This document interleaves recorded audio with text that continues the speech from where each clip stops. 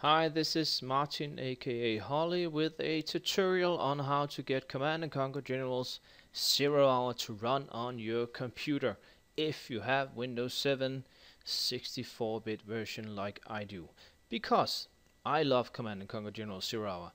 It's 2014, the game came out in 2003 I think, and I still play it, I still enjoy it, but after upgrading to Windows 7 64-bit version, I could not play the game anymore. So I went online, I found a fix, and I want to share with you the easy way because it took me a few hours and well, why not make a video about it? So what I did, well, firstly, um, let's try and start it up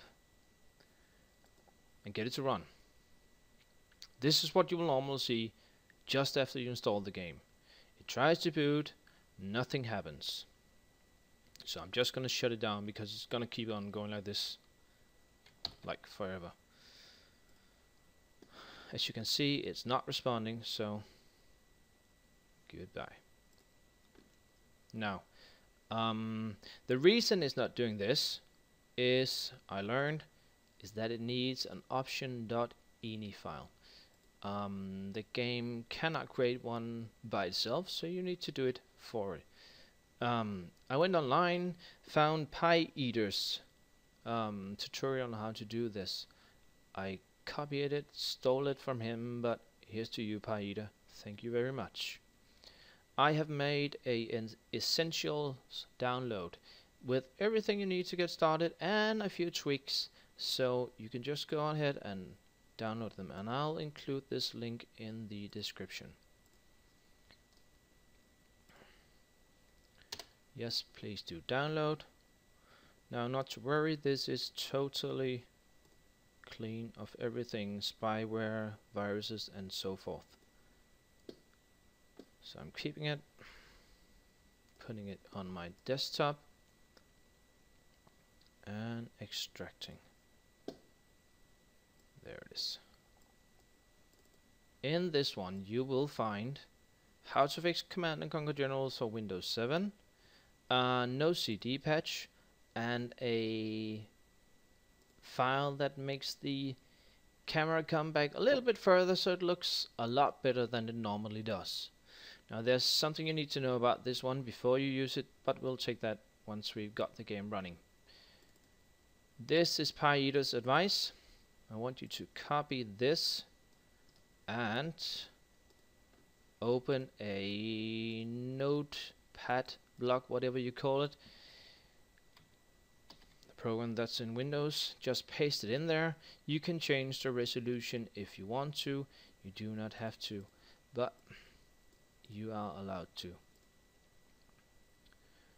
Save as, and what you want to do is you want to save it in the documents and there's a command and conquer zero hour data file uh,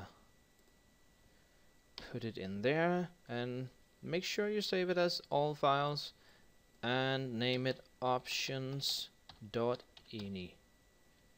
and you are not good to go yet because if you look in the description here's what it says now the key bits you need to make sure that you have full read and write permission for the data folder. Now how do you do that? Well, you go into Documents, find both of them, right click and then select Properties. Then you uh, say Security, I think it's gonna be called, and you need to make sure that these are checked.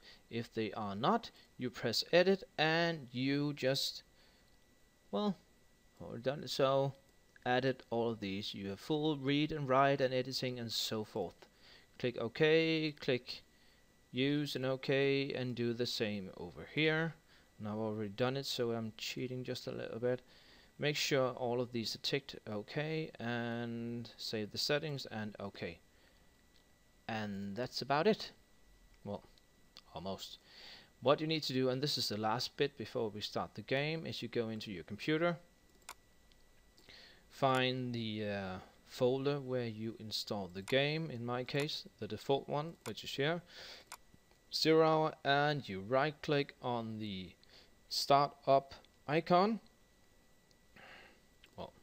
program since it's not only an icon and compatibility you want to make sure that these are checked for Windows XP Service Pack 3 and run this program as an administrator now you should be good to go let's just try that out I. Challenge everything. That's a bit loud. I thought the war was over. Come on. A terrorist base destroyed by American forces while defending civilians. But it wasn't. Now let's boot it up. And shit, this is loud. You will see well, Laying the foundation. this lovely game.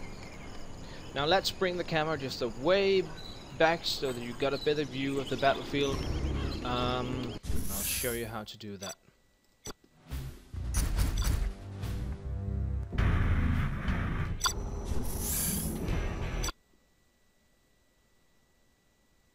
Okay, so in the we're done with this one. Thank you, Pie Eater. In the file you download, in the folder you downloaded, there should be, there is a Command and Conquer Zero Hour game data widescreen hack. Now this wasn't made by me. I found it right here, thanks to Neo Widescreen and Kojin, I think his name is, for an optional tweak. Now this is just a file you download and you place it in a folder and game gamedata.ini is its name and that tweaks the game. And it's not illegal in any way because the game was designed to uh, mod in this way. So um, this is the file you get. It's also in here so you can just go ahead and extract that there you go. Inside this folder you will find the game data. Copy this one and go back to your zero hour folder. Where did I I'm gonna have to start over here. Hmm. Where's my head at okay you want to go into data and ini and place the file in here. And one thing you do need to know though when you use this one if you play multiplayer against other players they need the same file. If they do not have this file you cannot play against them. Um, so if they don't have it you can delete yours go online and play some some rounds and have some fun if you play with your friends I strongly suggest that you give them this file and tell them to place it in here because it just makes the game look a lot better and you can play together one last thing before we start this is a no CD patch.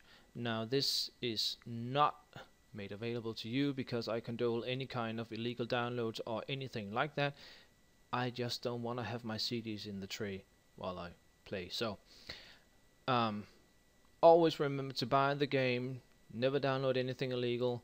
Generals is a fantastic game. You can still buy it online on Origin. So do that if you do not have it. If you do have the CDs, like I do, this is the no CD patch you can use. What you do is you copy it right there and you go back into your hour folder and then you say whoops you will paste it please do not thank you and you will say copy and replace once you've done that you can start the game with no CD in it and let's go check out how it looks just before we finish off here EA Games. Challenge everything. A terrorist base destroyed by American.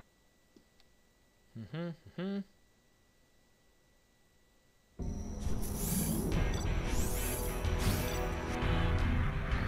Okay. The moment of truth. It does look fantastic, doesn't it? It brings the camera way back. You've got a much nicer view of the battlefield. Um, if New you do construction. tweak- oh, that's a bit loud. If you do tweak the um, uh, the uh, resolution for the game, it will almost look like a game that was made yesterday, even though it is as old as it is. Well, anyhow, your game is up and running, and I hope you enjoyed this tutorial. If I left out something, please let me know so that I can fix it. Thank you for watching and enjoy the game. Bye.